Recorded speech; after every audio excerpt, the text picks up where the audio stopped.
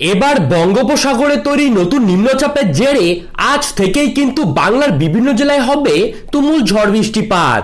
আগামী তিন দিন উত্তরবঙ্গ সহ দক্ষিণবঙ্গের বিস্তীর্ণ জেলায় কিন্তু থাকছে অতি ভারী বৃষ্টিপাতের কমলা সতর্কতা। এরই পাশাপাশি বেশ কয়েকটি জেলায় কিন্তু বন্যার সতর্কতা জারি করে দিয়েছে আবহাওয়া দপ্তর।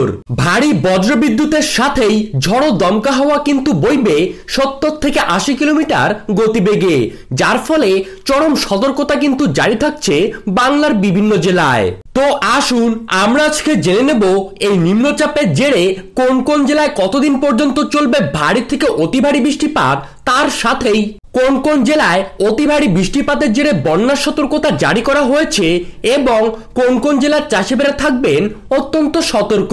তো এই বিষয়ে যেই গুরুত্বপূর্ণ আপডেটটি চলে এসেছে, তো তাই কিন্তু আমি আজকে আপনাদেরকে জানিয়ে দেব এই ভিডিওটির মাধ্যমে। তো বিস্তারিতভাবে জানতে হলে অবশ্যই ভিডিওটিকে শেষ পর্যন্ত মনোযোগ সহকারে দেখবেন।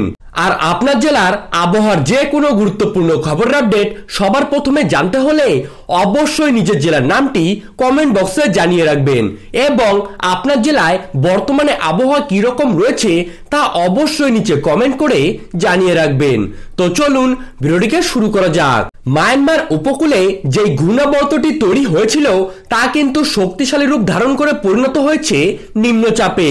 আর বর্তমানে সেই নিম্নচাপই কিন্তু বাংলার উপকূলবর্তী এলাকায় অবস্থান করছে, যার ফলে আজ থেকেই কিন্তু টানা কয়েকদিন বাংলার বিভিন্ন জেলায় থাকছে ভারী বৃষ্টিপাতের চরম সতর্কতা।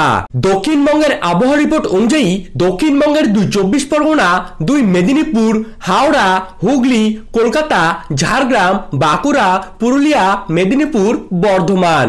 এই কয়েকটি জেলায় কিন্তু থাকছে ভারী বৃষ্টিপাতের চরম সতর্কতা।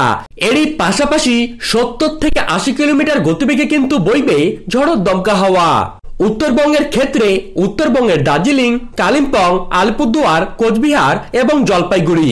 এই কয়েকটি জেলায় থাকছে মাঝারি থেকে ভারী বিক্ষিপ্ত বৃষ্টিপাতের পূর্বাভাস। বিশেষ করে উত্তরবঙ্গের জেলাগুলিতে কিন্তু বজ্রপাতের পরিমাণ থাকবে অনেকটাই বেশি।